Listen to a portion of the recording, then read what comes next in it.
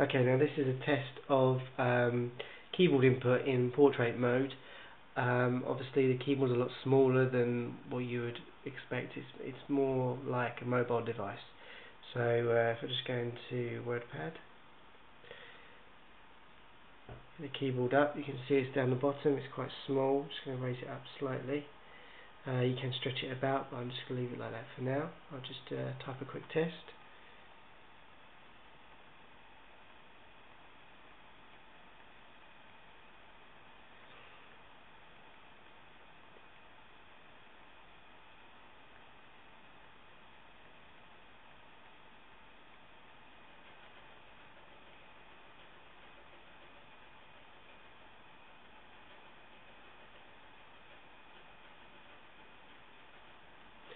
Okay, I'm just going to make this text bigger for you. So I think you can see uh, there was one one mistake, so not bad.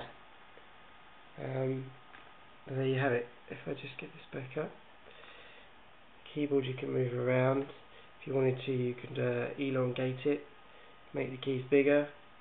Um, I don't think you can squish it in anymore than that but um, that's it basically